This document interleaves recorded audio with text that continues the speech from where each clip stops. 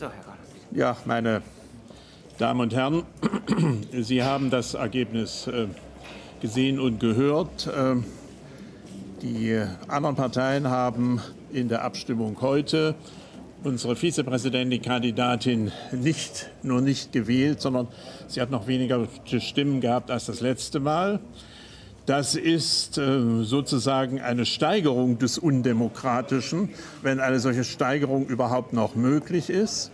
Es ist offensichtlich in diesem Parlament nicht möglich, in irgendeiner Weise konsensual zu arbeiten, sondern wir sollen ausgegrenzt werden und äh, man will uns an Nichtbeteiligen an allen demokratischen Prozessen. Denn es ist ja nicht nur der Bundestagsvizepräsident, es sind ja auch bestimmte Gremien. Wir haben jetzt in der Fraktion darüber beraten und äh, wir werden jetzt künftig ich kann auch nicht sagen in jeder Sitzung.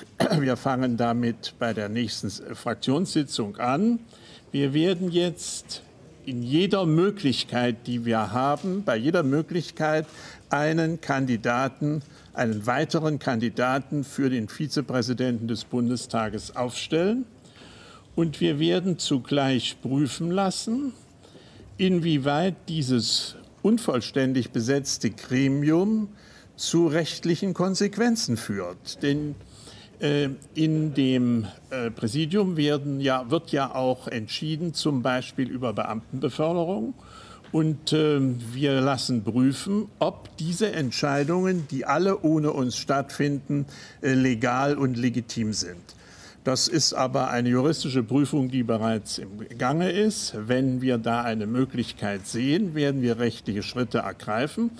Äh, die andere Maßnahme, dass wir sozusagen künftig ähm, jedes Mal, wenn es möglich ist, einen Kandidaten für das Amt des Vizepräsidenten aufstellen, haben wir heute in der Fraktion einstimmig beschlossen.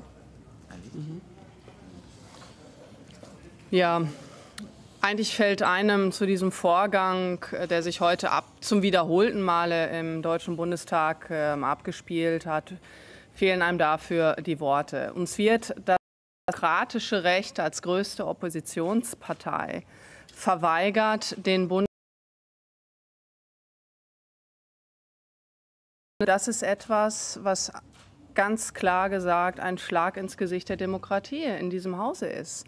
Wir, wir können überhaupt nicht verstehen, warum das so seit anderthalb Jahren gehandhabt wird. Und äh, wie Herr Gauland das jetzt gerade angedeutet hat, wir werden ähm, einen neuen Kandidaten bestimmen, angefangen in der nächsten Fraktionssitzung.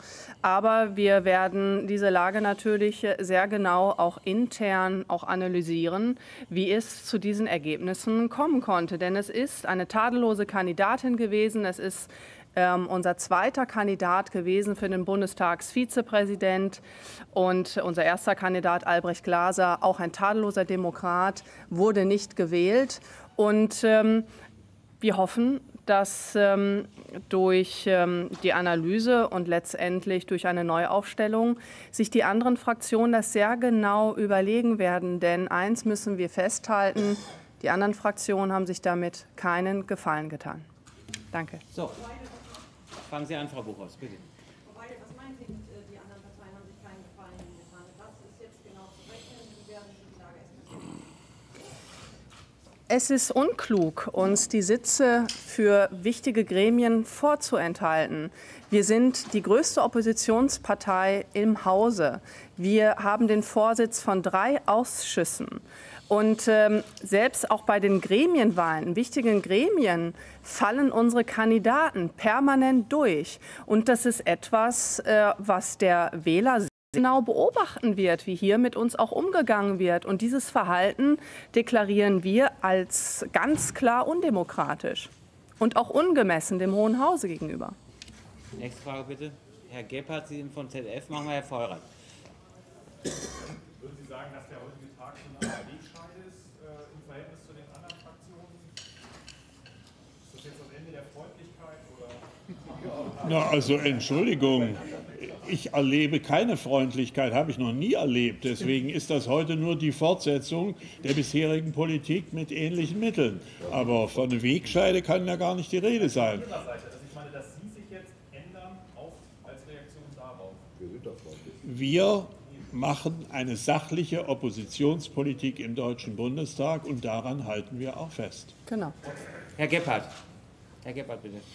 Erst an Herrn, an Herrn Gauland die Frage. Einmal, Sie haben ja gesagt, wer Krieg haben will, kann Krieg kriegen. Inwiefern ist heute der Tag dafür gekommen? Und zweite Frage, es gab ja auch äh, Meldungen kurz vor dieser Wahl, dass es in den eigenen Reihen es Abweichler geben wird, die Sie nicht mittragen können, Inwiefern, wie sehen Sie das? Gab es diese Abweichler und welche Auswirkungen hatte das? Äh, das kann ich nicht sagen. Äh, das äh, glaube ich nicht, denn die Fraktion hat hier einstimmig votiert. Ähm, aber da keine Namen genannt sind, äh, sind das alles Vermutungen und ich möchte zu Vermutungen keine Stellung nehmen, weil ich es äh, nicht äh, beurteilen kann. Es steht ja, äh, es ist anonym und es steht nichts dahinter. Das halte ich nicht für eine gute journalistische Tat, das muss ich sagen. Moment. Wie bitte? Wer Krieg haben will, kann Krieg kriegen. Ja, die machen das ja. Entschuldigung. Also ich bin ja, wir sind ja gar nicht die, die den Krieg angefangen haben. Wenn das heute keine weitere Kriegserklärung auf die vielen, die wir schon hatten, haben, dann weiß ich gar nicht, was das ist. Ein Friedensangebot war das nicht. Oder äh, vielleicht der Versailler Vertrag. So ähnlich haben die sich heute verhalten. So, wir haben noch zwei Fragen. Eins geht an Frau Fiedler und dann an Sie und dann müssen die Herren Abgeordneten wieder ins Plenum. Bitte, Frau Die. Damen und Damen Herren auch. Abgeordnete. Pardon, ja, natürlich. War das ein Scherz? Obwohl, wenn wir zu Hause bleiben können. Ja. hm? Äh, Ist es richtig, dass Sie